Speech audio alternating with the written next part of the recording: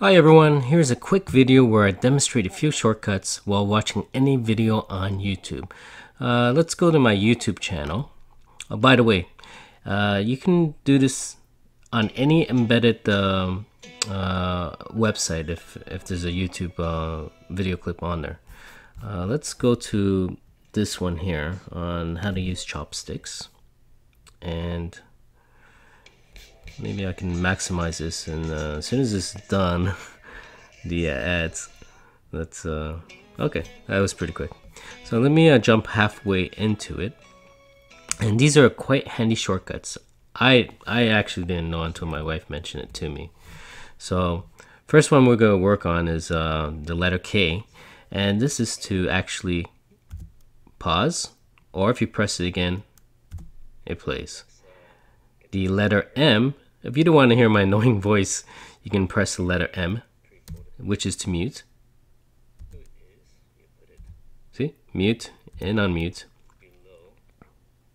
Uh, F is to go to full screen. And press F again to uh, minimize it. Of course, you can use the escape function as well. It works the same way.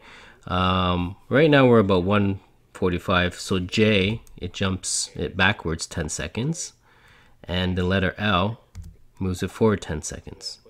And we have the left and right arrow um, functions on your keyboard. So the left one, it actually uh, jumps it back 5 seconds. See, I'm going back every 5 seconds. And the right arrow, it goes forward 5 seconds. Now we have uh, numbers from 0 to 9. So if I want to go to the beginning of the uh, video, I'll press 0. If I want to go halfway point of uh, my video, then I'll press 5, which is 50%. So I guess you can say the numbers are uh, percentage. So if I want to go 70% of the video, I'll press 7 right there. 2 for 20%, I'll press 2. Goes to 29 seconds there. And the last part is um, the space bar. It pauses, it plays. Now if I were to go outside of the uh, uh, video, say I go down here, uh, it actually scrolls down if, um, to the bottom of the page if I re repeatedly uh, press the spacebar.